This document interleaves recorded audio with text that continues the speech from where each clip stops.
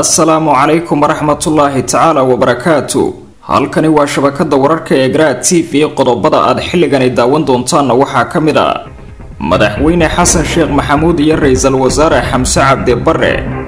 oo si wadajir ah u tegay xarunta hay'adda nabad sugidda ee magaalada muqdisho lana kulmay agaasimaha hay'addaasi mahad salaad kalena hadlay arrimo ay ka mid yihiin sidii dacwad toos ah loogu furi lahaa agaasimihii hore ee hay'addaasi fahad yaasiin xaaji daahir maxaa lagu haystaa wararka garaad t v ayaad ku daawan doontaan? Maxay tahay sababta ay dowladda soomaaliya guddi ugu saari weyday weerarkii shakiga dhaliyey ee lagu qaaday kuliyadda jaalasiyaad ee magaalada muqdisho? Halkaasi oo lagu dilay askar badan oo ka tirsanayd ciidamada xoogga dalka soomaaliyeed wararkeenna ayaynu ku faahfaahin doonaa. Beesha habargidir oo soo bandhigtay saddex kun oo macawisleeyaha kuna hubaysan hubka noocyadiisa kala duwan kuwaasoo ka qayb qaadan doona wejiga labaad ee dagaalka ka dhanka kooxda al-shabaab. Guddoomiyaha golaha shacabka ee baarlamaanka soomaaliya sheekh aadan maxamed nuur aadan madoobe oo sheegay inuu ka hortegay mooshin culus oo ay wadeen xildhibaano ka badan soddon xubnood oo ka tirsan golaha shacabka ee baarlamaanka dowladda iyo xildhibaan ka tirsan golaha shacabka ee baarlamaanka soomaaliya oo si adag u weeraray wasiirka wasaaradda gaashaandhigga ee soomaaliya.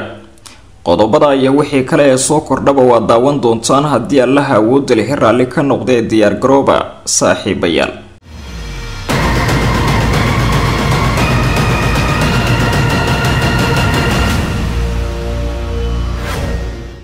isku soo laabasho haboon mar kale daawadayaal halkani waa garaad t v. Xasuusnow haddii aad joogtid xilliga salaada soo guda waajibka alle ee ku saaran dibna ugu soo laabo daawashada muuqaalkan. Macadka daarulxufaadna waxauu idin ogeysiinayaa inuu qaadanayo arday cusub oo habka online-ka ku baran doona. Xifdinta iyo barashada qur'aanka kariimka wixii faahfaahininta dheerna waxaad kala xiriirtaa lambarada iyo ciwaanada shaashada ka muuqda aan ku bilaabay madaxweynaha jamhuuriyadda federaalk ee soomaaliya xasan sheekh maxamuud oo wehlinayo ra'iisul wasaarihiisa xamse cabdi bare ayaa tegay xarunta hay'adda nabad sugidda iyo sirdoonka qaranka soomaaliyeed ee magaalada muqdisho halkaasi uu ku soo dhaweeyay agaasimaha nisa mahad maxamed salaad. Madaxweyne xasan iyo ra'iisul wasaare xamse ayaana kulan xasaasiya la qaatay agaasimaha hay'adda nabad sugidda iyo sirdoonka qaranka soomaaliyeed ee nisa mahad maxamed salaad kaasi oo looga wada hadlay xaalada guud ee dalka iyo arrimaha amniga. Kulankani saddex geesoodka ah ee dhex maray madaxweynaha soomaaliya ra'iisul wasaaraha iyo agaasimaha hay'adda nisa ayaa lagu falanqeeyey arrimo ay ka mid yihiin dagaalka adag ee wakhtigani lagula jira kooxda argagixisada ah ee al-shabaab sare u qaadidda shaqada hay'adda nisa iyo sidoo kale in la bilaabo baaritaano dhab ah oo ku saabsan kiiska ikraan taaliil faarax oo muddo dhowr sano ah lala-yahay meel ay jaaniya cirib dhigtay laguna tuhmayo inay ka dambeeyeen waayitaankeeda saraakiishii hore ee hay'addani nisa. Marka laga soo tago in madaxdu ay ka wada hadleen xoojinta shaqada hay'adda nisa oo kaalin muhiima uga jirta arrimaha amniga ee dalka iyo la dagaalanka argagixisada waxay si gaar ah diiradda u saareen. Sida ay sheegayaan xogaha laga helay kulankaasi in dacwad lagu soo oogo shaqhsiyaadka loo tuhmayo inay ku lug lahaayeen waayitaanka ikraan taaliil farax oo ahayd sargaalad ka shaqaynaysay isla hay'adda nisaa islamarkaana la waayay meel ay jaaniya cirib dhigtay sidii ay u joogtay. Iyadoo ay isku raaceen sida xoguhu ay sheegayaan mahad salaad xasan sheekh iyo xamse cabdi bare in si toos ah dacwad loogu furo agaasimihii hore ee hay'addaasi fahad yaasiin xaaji daahir oo dalka iskaga baxay markii xukunka looga guuleystay madaxweynihii uu la shaqaynayay maxamed cabdulaahi farmaajo islamarkaana saldhigtay waddanka dibaddiisa. Lama oga qaabka ay xilligani dowladdu u wajahayso dacwad furista fahad yaasiin iyo baaritaanka kiiskaasi ikraan taaliil faarax waxaana si gaara loogu xil saaray shaqadani agaasimaha hay'adda nabad sugidda iyo sirdoonka qaranka soomaaliyeed mahad maxamed salaad sida ay tibaaxayaan xogaha warbaahintu ka heshay kulankaasi madaxweynaha soomaaliya xasan sheekh maxamuud ayaa sidoo kale la kulmay guddiga qaran ee la dagaalanka lacag dhaqidda iyo ka hortaga maalgelinta argagixisada ee waddanka. Madaxweynaha ayaana xubnaha guddiga ka dhageystay warbixin ku saabsan mirodhalka qorshaha qaran ee curyaaminta awoodda dhaqaale ee argagixisada al-shabaab guddiga qaran ayaa soo bandhigay baraaruga shacabka soomaaliyeed ee ka dhanka ah argagixisada sidoo kale waxay kulankani ka sheegeen in la daciifiyey awooddii argagixisadu ay u lahaayeen uruursiga baadda iyo boobka ay ku hayeen ganacsatada soomaaliyeed oo si joogto ah ay dhaqaalo uga qaadi jireen. Guddiga ayaa sheegay in tallaabada kooxda al-shabaab looga jaray dhaqaalaha ay aas-aas u tahay ciribtirka iyo dabargoynta argagixisada ka dagaalamaysa soomaaliya oo ku naaxday dhaqaalaha shacabka. Madaxweyne xasan sheekh maxamuud ayaa tilmaamay in dagaalka ka dhanka argagixisada al-shabaab uu leeyahay saddex furimood oo isbarbar socda kuwaasi oo kale ah furinta fikirka iyo furinta milatariga wuxuuna sheegay inaan laga xoreyn karin dalka haddii aan guul wada jir ah laga keenin saddexdaasi furimood ee wada socda. Dhanka kale madaxweyne xasan sheekh maxamuud iyo ra'iisul wasaarihiisa xamse cabdi bare ayaa kormeeray xarunta hay'adda nabad-sugidda iyo sirdoonka qaranka. Qeybaha ay ka kooban tahay waxaanay u kuur galeen shaqada halkaasi ka socota iyagoo ku amray saraakiisha in la laba jibbaaro shaqada hay'addaasi ay u hayso dalka maadaama xilligani lagu jiro waqti xasaasi ah oo lala dagaalamayo argagixisada hadafkuna uu yahay in la soo afjaro. Madaxweynaha ayaan ugu dambeyntii saraakiisha nise uu la kulmay iyo guddiga la dagaalanka dhaqaalaha kooxda al-shabaab waxa uu ku amray inay dhammaantood laba jibbaaraan shaqooyinka ay hayaan si loo wiiqo awoodda kooxda al-shabaab. Xilli haatan dalku u diyaargaroobayo wejiga labaad ee dagaalka ka dhanka kooxdaasi oo hadafku uu yahay in lagu soo afjaro joogitaankeeda soomaaliya. Muddo toddobaad ah kadib dowladda federaalk ee soomaaliya ayaan weli magacaabin. Guddi rasmi ah oo dabagal ku sameeya weerarkii kuliyadda jaalasiyaad oo dhacay isniintii la soo dhaafay kaasi oo lala beegsaday ciidamo ka tirsan xoogga dalka soomaaliyeed oo ku sugnaa xeradaasi. Waxaana tan iyo markii uu dhacay weerarkaasi oo lagu dilay sodomeeyo ka tirsan ciidamada xoogga dalka soomaaliyeed. Halka tiro toddobaatan gaaraysana lagu dhaawacay soo badanayay shakiga laga qabo qaabka uu dhacay weerarkaasi iyadoo loo xirxiray saraakiil badan oo ka tirsan ciidamada xoogga dalka kuwaasoo ah saraakiishii ilaalinaysay ama gacanta ku haysay xeradaasi oo la tuhmayo inay kala shaqeeyeen kooxda al-shabaab weerarka ay halkaasi ka fulisay. Xildhibaan maxamed cabdi xayar maareeye oo ka tirsan golaha shacabka ayaa si adag uga hadlay arrintani isagoo su'aal ka weydiiyey guddoonka baarlamanka dowladda soomaaliya maareeye ayaa shaaca ka qaaday in dhacdadani ay ka doodeen xildhibaanada ayna isku raaceen in la soo saaro guddi baarlamaaniya balse ilaa iyo hadda guddoonka golaha shacabku aanay soo dhisin guddigaasi taasi oo aada loola yaaban yahay. Dabcan dhacdooyinka nuucani oo kale ah ee shakiga badan uu ku gadaaman yahay waxay ahayd in si deg deg ah dowladda soomaaliya ay guddi ugu saarto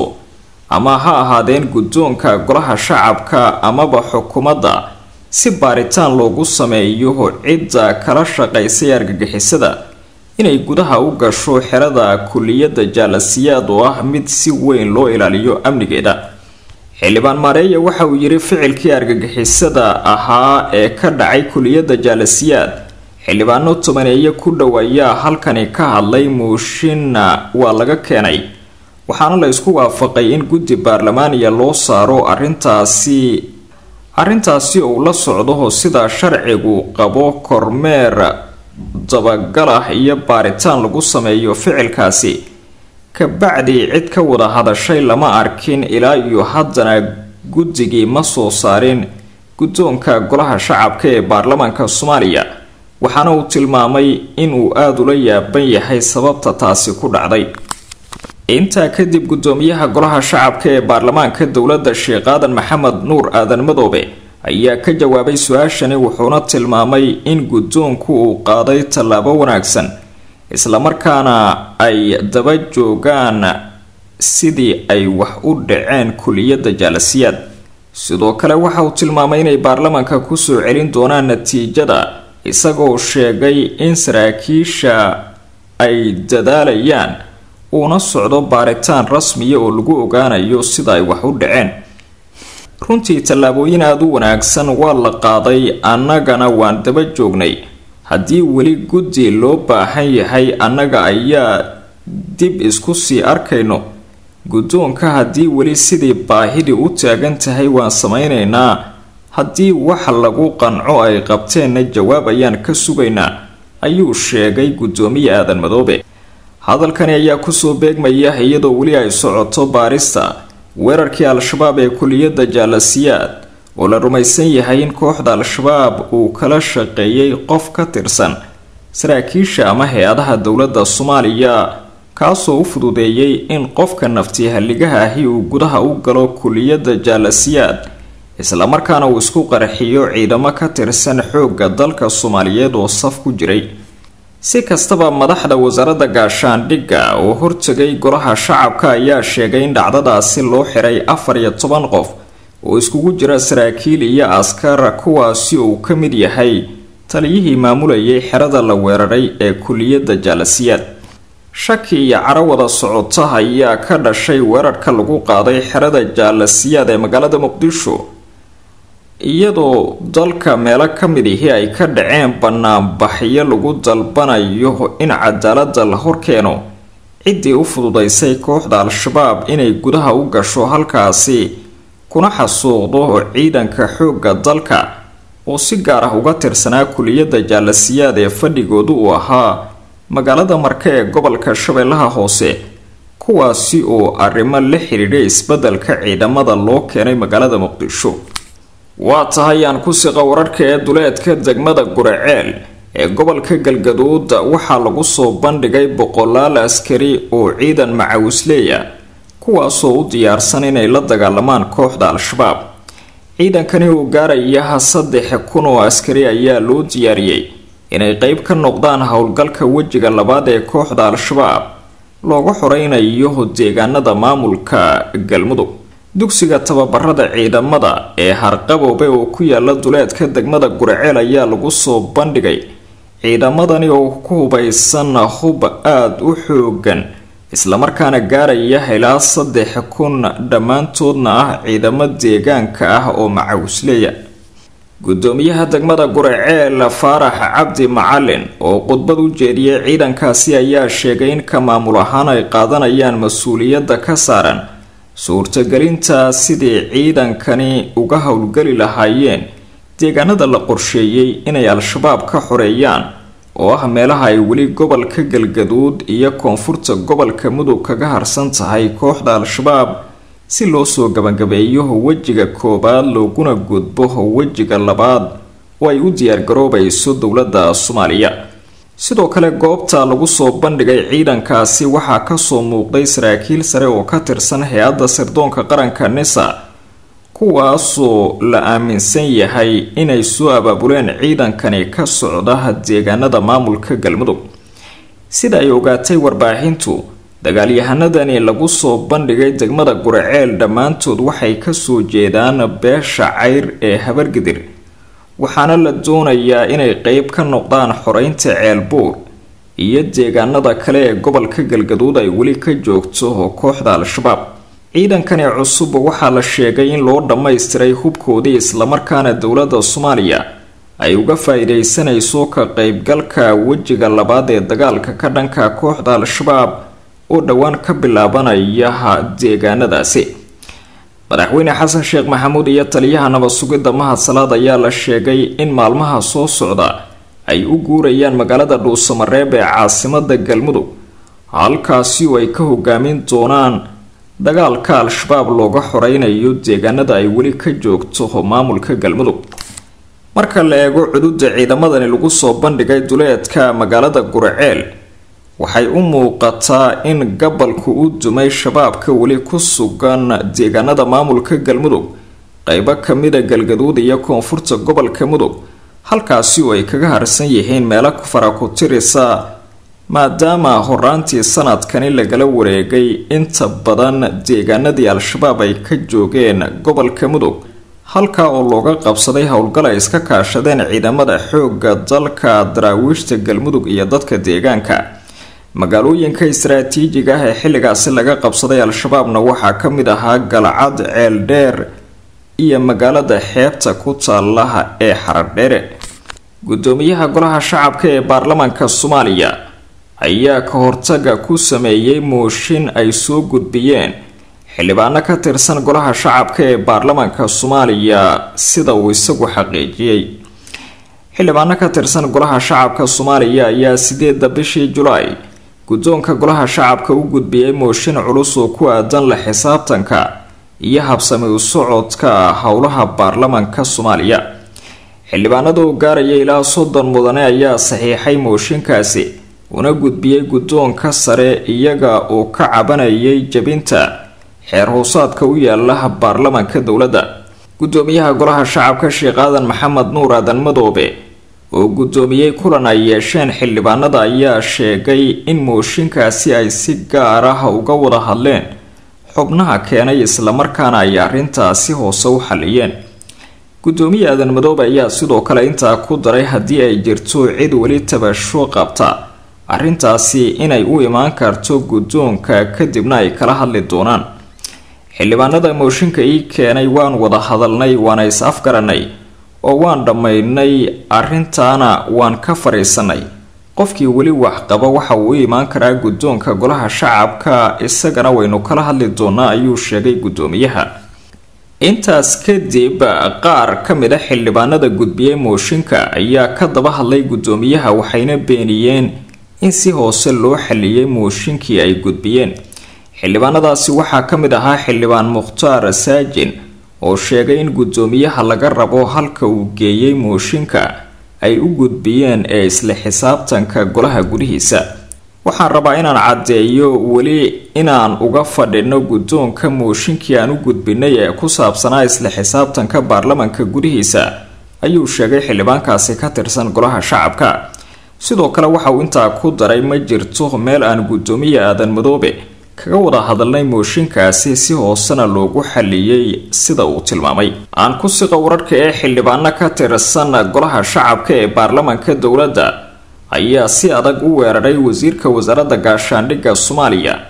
cabdulqaadir maxamed nuur jaamac kuwaasoo ku tilmaamay nin saaxiibul ciyaal ah islamarkaana aan u qalmin inuu hogaamiyo wasaaradda sidani muhiim ugu ah dalka oo ah wasaaradda difaaca ee soomaaliya xildhibaan cabdirasaaq ciid ayaa kulankii golaha shacabka ku hor weeraray. Wasiirka gaashaandhigga soomaaliya cabdulqaadir maxamed nuur jaamac isagoo sheegay in wax mas'uuliyad ah ama damqasho ah aysan ku haysanin ciidamada xoogga ee ku sugan furimaha mar walibana la kulmaya dhibaatooyinka argagixisada. Waxaana uu tilmaamay in marka la eego dhaqamada cabdulqaadir maxamed nuur jaamac aan u qalmin inuu hogaamiyo wasaaradda gaashaandhigga ee soomaaliya. Xildhibaan cabdirasaaq ayaa baarlamanka u soo jeediyey inay ka fiirsadaan in wasiirkani uu sii hayn karo xilka waxaanu hoosta ka xariiqay in markii uu golaha soo hor istaagay uusan waxa tacsiyeynah u dirin. Askartii lagu laayay kuliyadda jaalasiyaad mana muujin waxa jixinjixa guddiga ku shaqada lehna waxaan ka rabnaa inayna hor keenaan ayuu ku daray hadalkiisa. Waxa uu tilmaamay inay ahayd markii uu baarlamanka hor yimid wasiirka gaashaandhigga inuu tacsi iyo tiiraanyo ka muujiyo dhibaatadii loo geystay ciidamada xoogga dalka ee lagu weeraray kuliyadda jaalasiyaad ee magaalada muqdisho. Xildhibaanka ayaa sheegay in wasiirka loo dhiibay wasaaradda gaashaandhigga uusan u qalmin wasaaraddaasi islamarkaana uusan ka damqan ciidanka maalin kasta ku dhimanaya dhagarta argagixisada. In wasaaraddaasi nin iska ciyaaraya loo dhiibo foolxumo waxay ku tahay ciidamada qaranka. Wasaaradda difaaca iyo dowladnimadeenna waxaan xildhibaanada u soo jeedinayaa inay ka fiirsadaan. Xilka uu hayo ninkani ayuu sheegay xildhibaanka. Waxa uu tilmaamay in marar badan uu ka arkay warbaahinta wasiirka gaashaandhigga oo aan muujinayn mas'uuliyadda iskana ciyaaraya sida uu hadalkiisa u dhigay xildhibaan cabdirasaaq ciid oo ka hor hadlayay golaha shacabka weerar afkaana ku qaaday wasiirka gaashaandhigga wararkii ugu dambeeya ee soomaalida waa naga inta nabadgelyo